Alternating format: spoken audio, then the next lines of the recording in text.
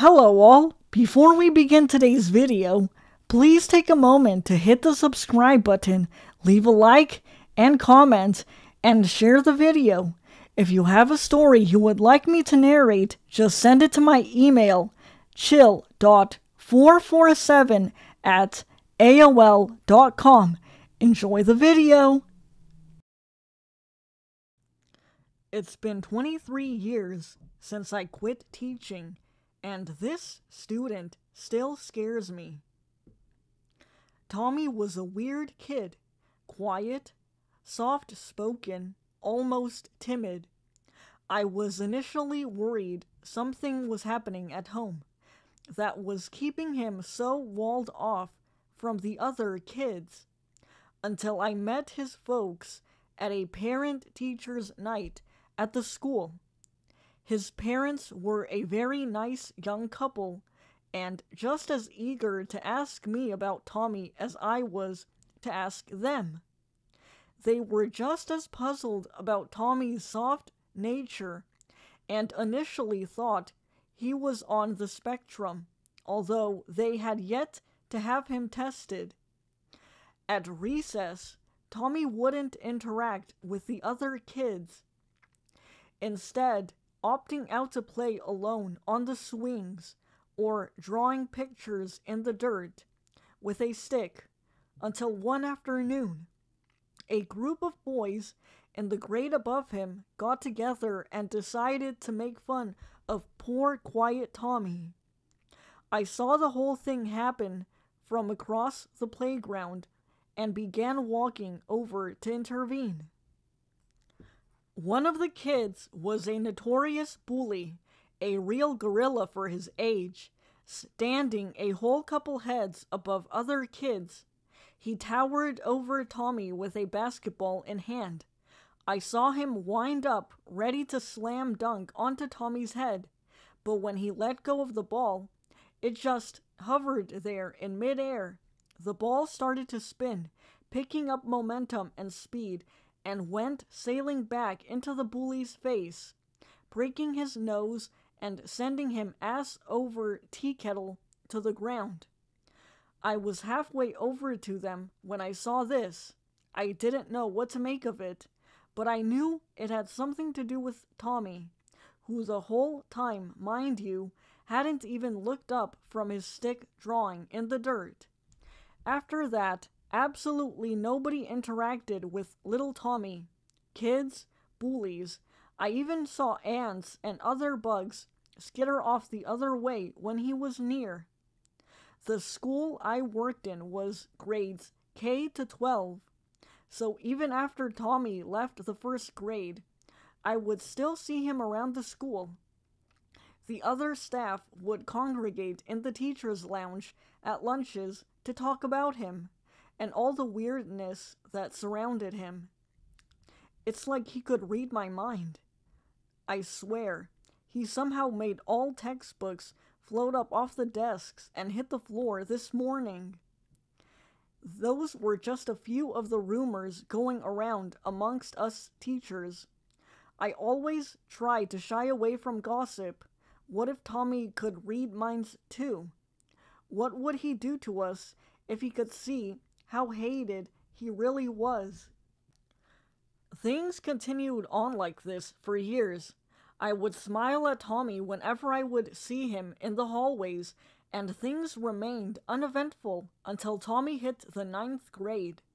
Tommy had to pair up with a partner for a science lab project, a simple dissection of a frog from what the teacher of the class told me, he nor anybody else had ever seen Tommy so into anything before.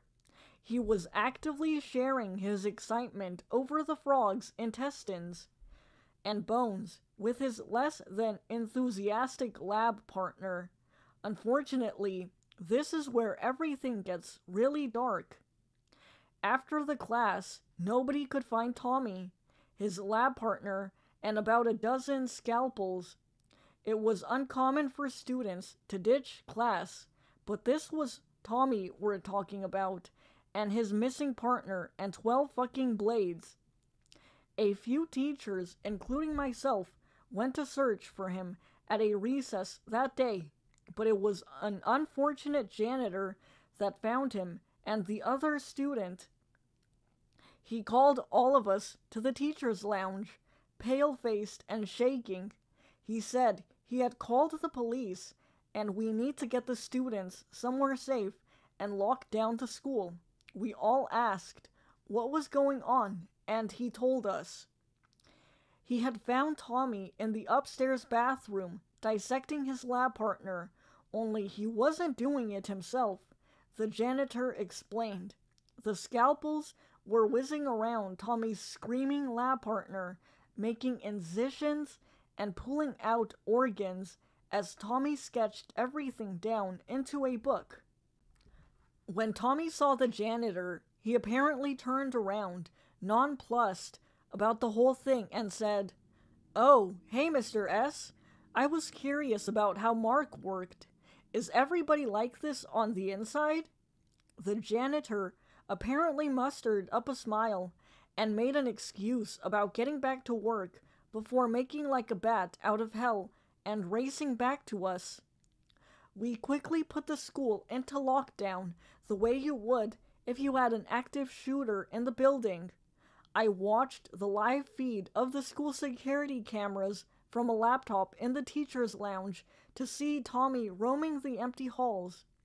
Locks broke off of lockers as he passed them, while the doors fluttered open and closed frantically like the panicked wings of butterflies. I could see he was visibly confused, probably wondering where everyone had gone. The police and SWAT arrived pretty quickly I watched the cameras as they surrounded him, automatic rifles pointed at his head, probably yelling at him to get on the ground. When Tommy just nonchalantly turned around to walk the other way, though, they opened fire. The bullets had barely left their guns before stopping mid-air to reposition themselves and continue their trajectory into their owners' skulls. Five SWAT team officers hit the floor, dead. All of the staff was huddled like a coven of witches around the laptop now. A coven of middle aged teacher salary witches, scared shitless as we saw on screen that Tommy now stood outside the teacher's lounge. We all knew what was coming as the door blasted off its hinges. The faculty panicked and threw any close object they could, grabbed towards Tommy. I remember shouts of, Get away from me, you little monster! And, I'm not fucking dying like this. I was supposed to retire to Florida this year! Eyes popped out of skulls. Limbs were ripped from sockets, with sick, wet, tearing noises, and teachers sailed around the room in the air, so fast and with such force that when they hit the ground, they exploded like a balloon full of jelly. And the whole time, I just crouched in the corner, shaking and terrified. Eventually, I was all that was left alive in the room with Tommy. He made his way over to me as I was sure it was the end. Mr. H? He spoke my name the way a student would before asking to use the washroom. Where is everybody? Did I do something wrong? I couldn't sugarcoat it. He had spared me to this point, and if nobody was going to tell him what he was doing was wrong, well, how far would he take this? How many more lives would he snuff out? Y- yes, Tommy. I managed to stammer out. You've killed these people. You understand that's wrong, don't you? I didn't mean to. I was just standing up for myself. I glanced over to the laptop to see more SWAT heading to the teacher's lounge. Tommy, please, I said as softly and kindly as I could under such stress. You have to make up for what you've done, okay? Some men are on their way here now to take you somewhere safe. Every crime has a punishment, and what you've done here is a crime. I don't remember my exact words, but they were something like that, and Tommy nodded and raised his hands to the air just as SWAT got to the door. They arrested Tommy, and he remained as calm and emotionless as ever as they led him to an armored truck in the parking lot. The events of that day were largely covered up, and Tommy was placed in a high security prison. I would visit him from time to time over the years. He told me I was the only one besides some government officials or FBI types, his words, that ever did. I didn't know why he let himself just sit in that prison year after year. I was thankful about it though. I thought whatever words I managed to squeak out to him before his arrest must have really stuck. He hadn't changed a whole lot mentally either, it seemed. He was still very much that quiet kid drawing pictures in the dirt I remembered from long ago. But the reason I'm writing this, the reason I've broken as many years of silence as I have NDAs on the matter is because last night I got a call from the prison. Two guards that patrol Tommy's cell were found dead, and he was nowhere to be found. I don't know if he just finally got bored or what. It doesn't help matters that he's grown into the most average, unassuming looking man ever Caucasian, average height, build, hazel eyes. He could be anywhere right now, and it has been a while since I last visited him. God help me if he decides I hadn't made the right call after all, and he wants payback for all the years he spent just whittling time away behind bars. Tommy, if you're reading this right now, I'm sorry, but I can't ever see you again. I can't see any more people suffer through so much. I know you're probably just confused and maybe even scared right now, but I hope you know to do the right thing. After I post this, I'll be heading into my garage to run a hose from the exhaust of my car through the driver's side window and maybe listen to my favorite REM album one last time. To everybody else, please stay in your homes, lock your doors, and keep your loved ones close. Good luck. As a child, my mother infected me with an extraterrestrial virus. My father died in a car accident when I was still an infant. I never knew him, but instead grew up with my cold, psychopathic mother, who I still despise to this day. Mom worked in a top secret government laboratory. I don't know when she decided, in her insane, emotionless way, that infecting me with the virus would be beneficial. And while it did ultimately give me some superhuman abilities, the nightmarish side effects ended up being far worse than anyone could ever have imagined. I still remember her taking me down into the lab one dark winter's night nine years ago. We passed through the lonely stairwells, our footsteps eerie and echoing in the silent corridor. This is a big night for you, Mom said, giving me a wide, toothy smile. I held her hand tightly, scared of the creeping fingers of shadow that seemed to follow us like the angel of death. A big night for all of us, really. Why? I asked, glancing up at her trustfully. She didn't meet my gaze. She gave an apathetic wave of her hand. Oh, it's a surprise, she answered evasively. A big surprise. just like on your birthday. Oh, I love surprises, I said excitedly. Is it a computer? A new video game? You'll see soon enough, honey, Mom said, grinning down at me as if I were a piece of meat. We had descended five or six levels below the ground level by this point. Brown cement walls lined the ceilings, floors, and walls. Looking back, it all seems like a concrete prison in my memories, but contained within the laboratory waited something far worse than a prison. We got to the bottom level of the stairs. In front of us loomed a thick steel door. Mom pressed her thumb into the glowing red sensor on the wall. The screen lit up with her credentials and photo. Rosie Emma. An ID picture that flashed across the screen showed her smiling at the camera, yet her cold eyes never seemed to smile.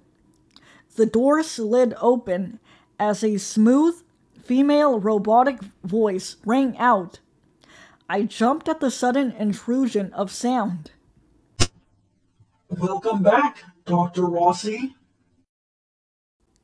It said, its emotionless cadence reverberating from speakers all around us, stretched out far in front of us. I saw cell after cell lining the sides of the hall. Rusted steel bars kept the inmates inside like caged animals. Emaciated, half naked wretches of human beings moaned in terror or cowered in the corners when they saw Mom walking by. I felt sick and weak just looking at them. I could see all of their ribs, their jutting hip bones, their spines sticking out through the thin, bruised skin like twisting branches. Many had signs of torture or medical experimentation sliced into their flesh. Some had extra limbs or extra eyes. I saw a man who had his legs sawn off and replaced by arms. He crab walked across the floor, crawling on his four hands in an eerie, inhuman way. I cringed back, hugging Mom's waist tightly.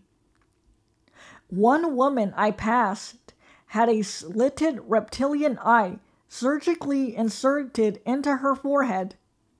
A few had some strange flesh rotting disease. Entire patches of their body gleamed crimson in the fluorescent lights. Skinned and bloody, spider webs of bloody gashes cracked and ate their way across their skin. Tortured moans rose into the air all around us. A couple of the prisoners even dared to come forward and plead for help from me. I cowered away, pressing myself close to Mom's leg. She gave them a venomous look. At the sight, they instantly retreated back into the shadows of their dark cells. Mom, what is this? Why are they like this? I asked in horror. I could feel my hands shaking, but Mom stayed as calm and still as a statue. Nothing seemed to bother her. Don't worry about them, baby, she said, glancing over at a crying woman whose skin had turned a deep blue. Dozens of bony spikes, shaped like wooden stakes, protruded from her head and chest, apparently fused into her skeleton. These are the worst of the worst. They deserve every second of it. They're political prisoners, journalists, enemies of the state. They hate our country and they hate freedom. Those of us who love this country would do anything to protect it. Anything. Some people don't understand that. She spat the last words at a trembling old man with deep, infected surgical scars running like train tracks over his legs, arms, and chest.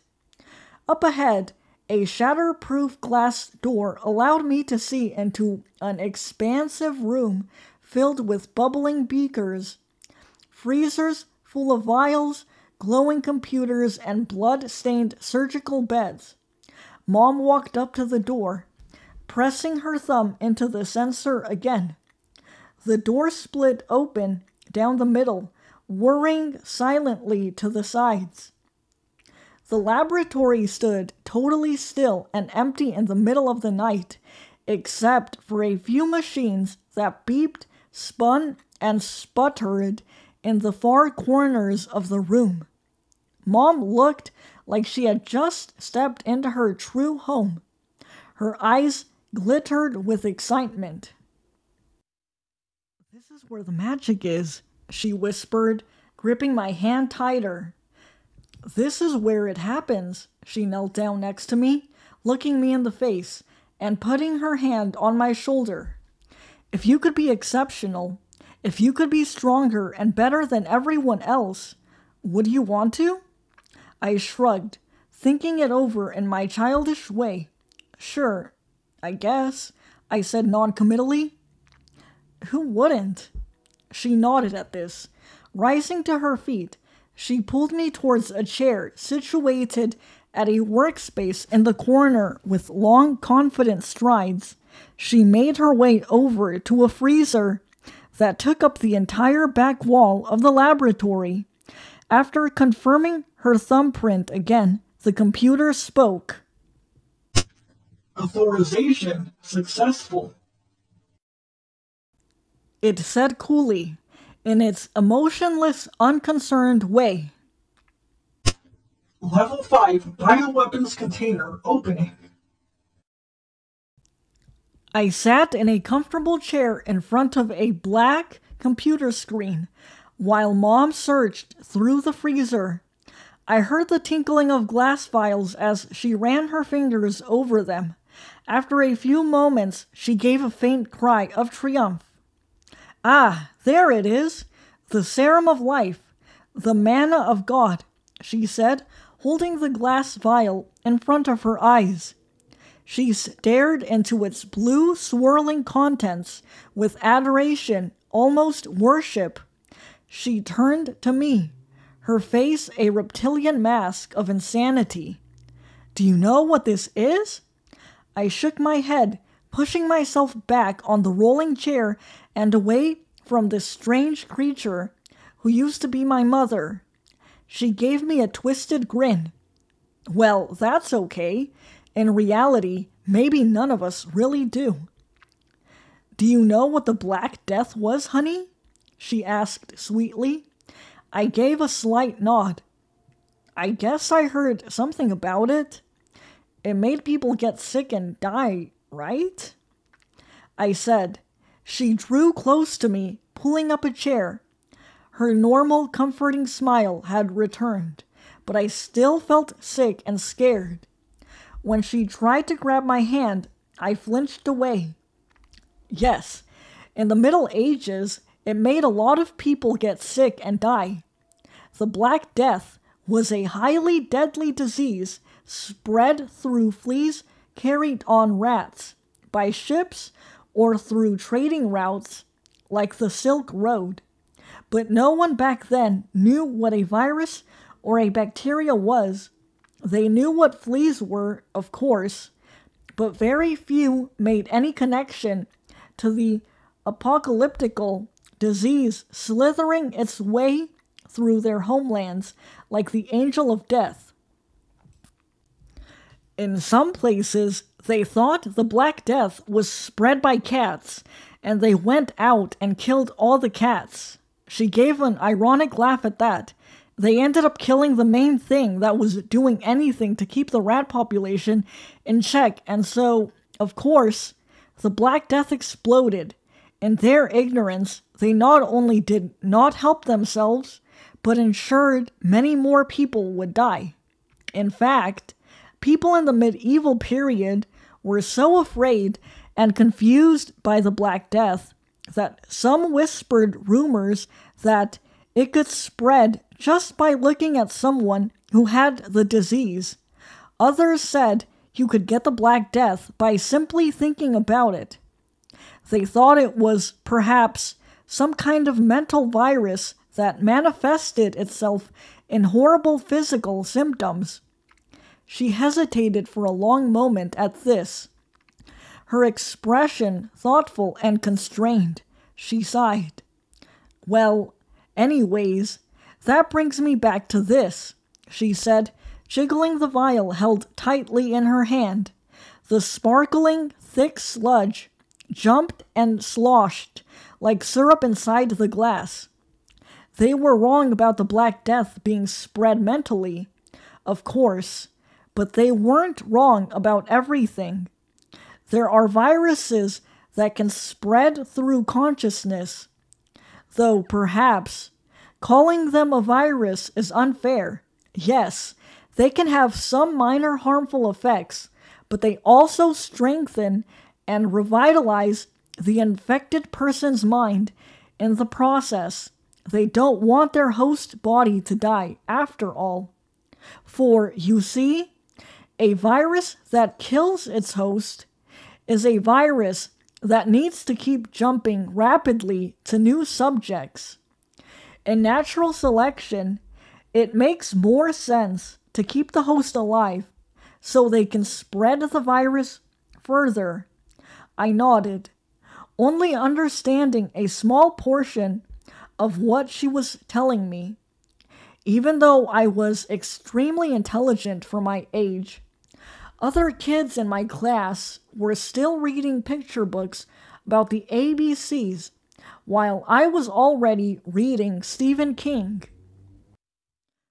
Mom took a needle from her pocket. She flipped the vial up and down rapidly, swirling the contents. I watched as it clung to the sides of the glass, slowly dripping its way down to the bottom like a slug. She stabbed the needle through. The cerulean liquid sparkled as it filled the syringe. Your arm, she said. I hesitated. Her eyes hardened to granite. I said, Give me your arm. I don't want to, I protested. She grabbed me roughly by the wrist. Twisting my hand, I cried out in pain. Before I knew what was happening, she had stabbed the needle into my tricep with a quick, practiced flick of her hand. She pressed down on the plunger. It's just a little shot, just like at the doctor, she whispered as a burning pain ran up my arm. It felt like lava was eating its way through my flesh. A ragged scream tore its way out of my throat. I looked down at my arm, and it seemed like white light was tearing its way out through ragged patches of flesh that dissolved as if acid were eating away at them. I heard a high pitched ringing sound from all around me.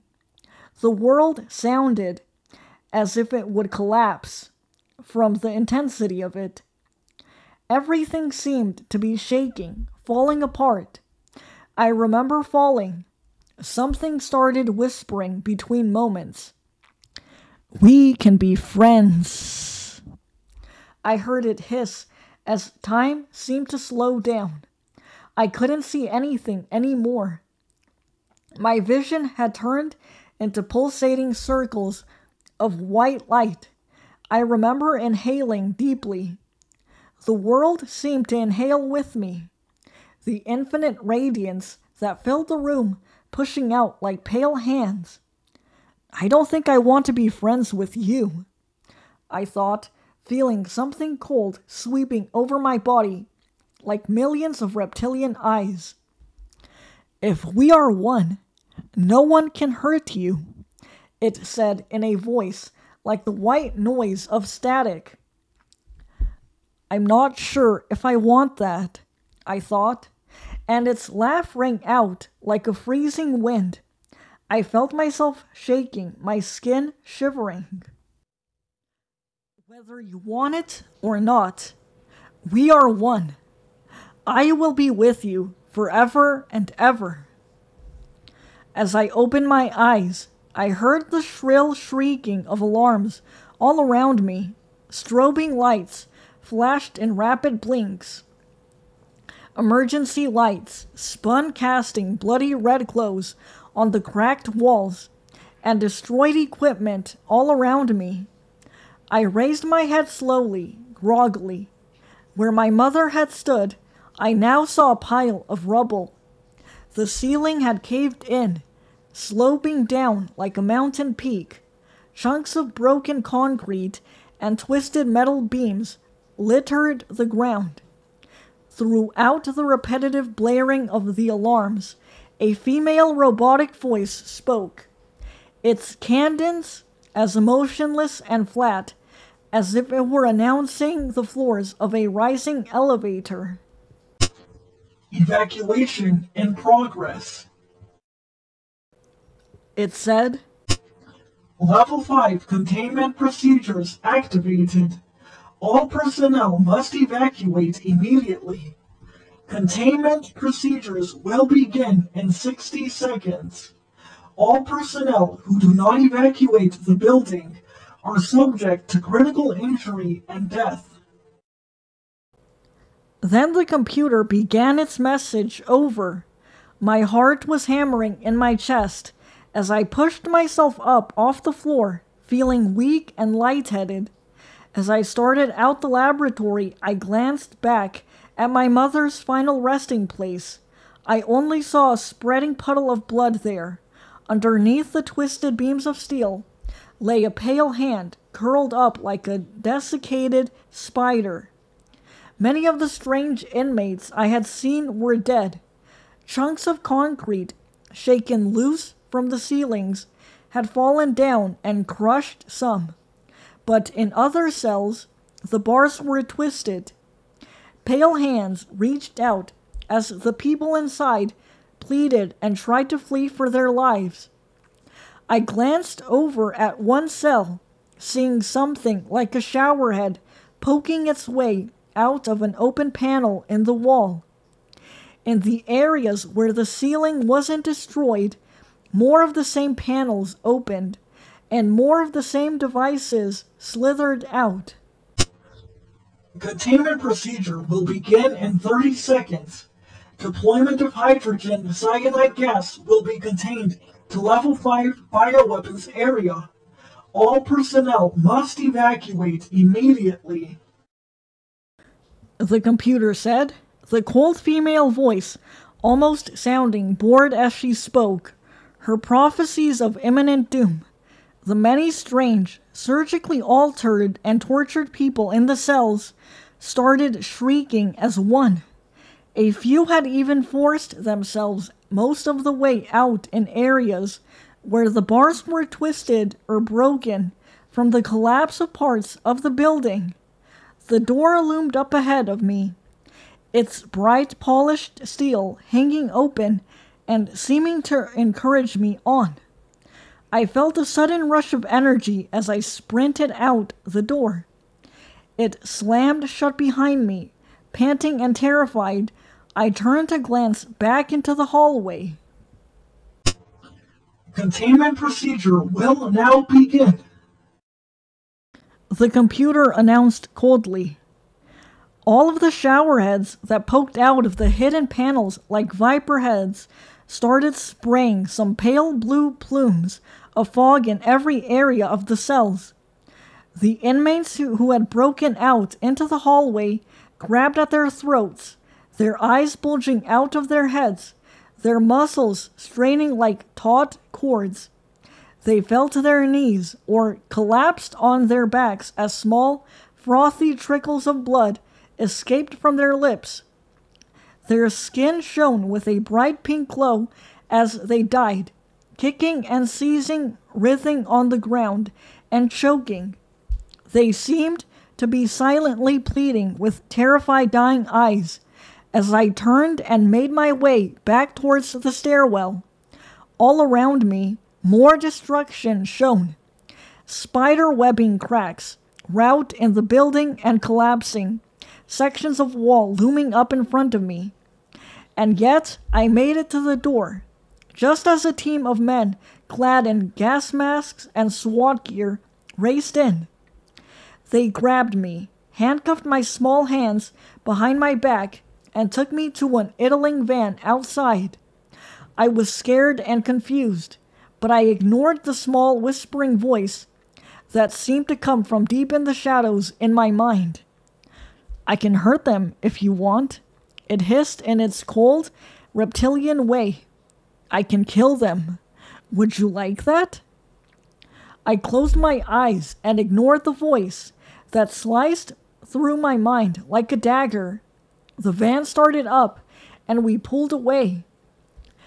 Two men in black suits and dark sunglasses sat across the table from me. The dark room seemed to press in all around me like a coffin. A one way mirror covered the wall behind them, reflecting darkly. Tell us what happened, the one on the left said, leaning forward. It. it was an earthquake. You know that. You saw the building, I protested. The one on the right smashed his hand against the metal table. I jumped, my heart leaping in my chest. Don't give us that bullshit. The one on the right spat. That was no goddamned earthquake. Why are you the only one left alive in the entire building? You should be dead. You were on the bottom floor. I shrugged, trying to make myself look as small as possible. When the earthquake happened, everything fell in front of me, but it stopped where I was standing. It must be God looking out for me or something. I don't know. Oh, yes, God. The one on the left repeated sarcastically.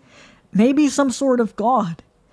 That was no earthquake. However, the building simply, well, it just seemed to collapse on its own as if someone had detonated a bomb. We have seen this before. Richard, we know that your mother gave you the serum. Why would she do that? Do you think? The one on the right asked. Was she crazy? Was she trying to kill you? She said something about viruses of the mind, I said. The way the men leaned close to me and hung on my every word scared me more than their anger about how they strengthen the mind because they need the host body to live. They drive the person insane. That's what they do. They take pieces of that person a little more each day until the stronger consumes the weaker. There are certain wasps that lay their brood inside caterpillars. Richard, the larvae hatches and starts eating the caterpillar alive from the inside. But evolution is smart, right? Somehow the larvae knows not to eat the vital organs until the very end. It keeps the caterpillar alive, suffering and dying, for as long as it possibly can, until it finally decides that its host body has worn out its welcome. Then it finally eats the brain and heart. But in the end, the caterpillar is just a meal, it's not a symbiotic exchange. Do you understand what I mean by this? The one on the left asked. It's important that you understand what I'm about to tell you. I nodded. He inhaled deeply. What your mother gave you is like a wasp larva in a sense, he said. And you're the caterpillar. It will ultimately kill you, probably within 10 years. No test subject has ever lasted longer than that.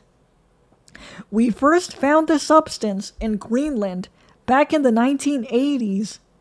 It had come to Earth in a meteorite hundreds of millions of years ago and lay dormant, frozen under the ice.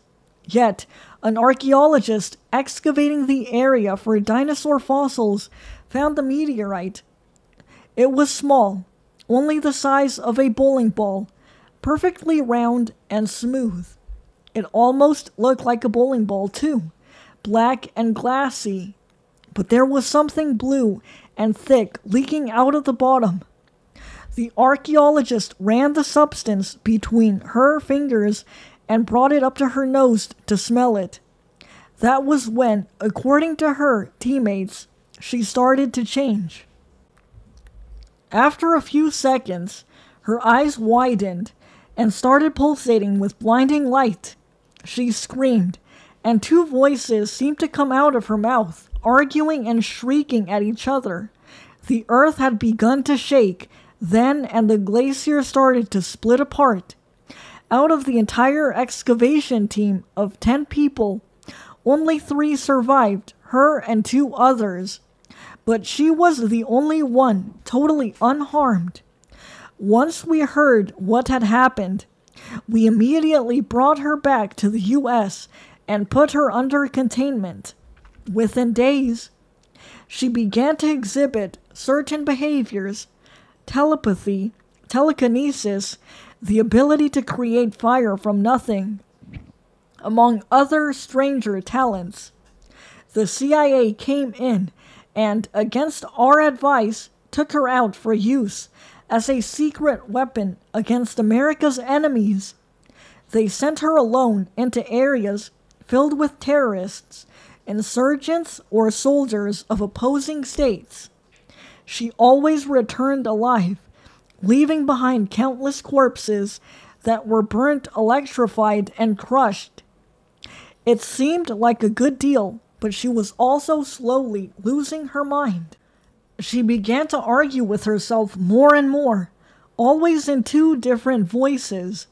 One sounded like her own, but the other seemed to be staticky, like a voice on the radio stuck between stations and from what we know about her death, apparently, on the way back from a mission, she got in an argument with herself and blew up the entire plane, killed everyone on board. This wasn't an unusual fate, since then, the CIA has injected quite a few others with the virus, and it always ends the same way.